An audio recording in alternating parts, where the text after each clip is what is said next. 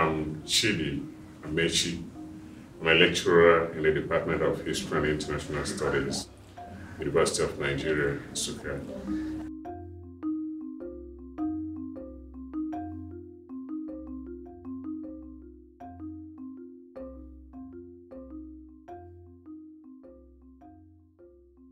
So my work is on traditional peace building in Nigeria, and I want to use the Umuada group as a case study.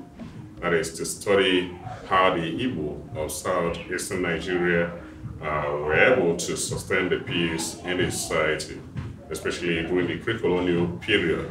That used to be a very powerful uh, group. Uh, they are the daughters of the community uh, even when they are married outside the community, they still, uh, you know, fall back and make sure that uh, for various reasons, both religious, political, economic, to make sure that uh, peace prevails in their paternal communities.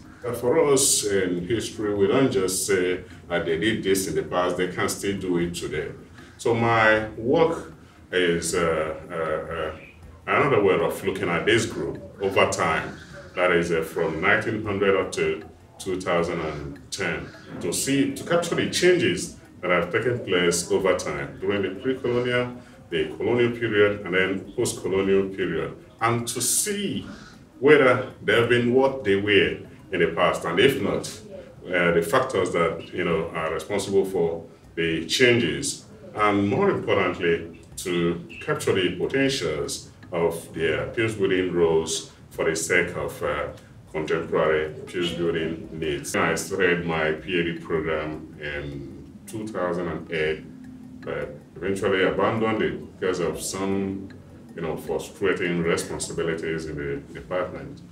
And when I started again, I was almost faced with the same problem.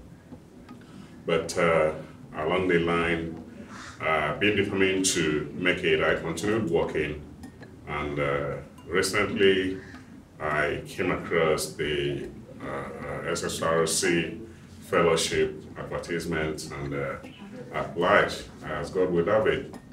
I was selected, I mean my work was selected and that actually led to uh, led the department to relieve me of those responsibilities that were uh, uh, uh posing as obstacles to my work.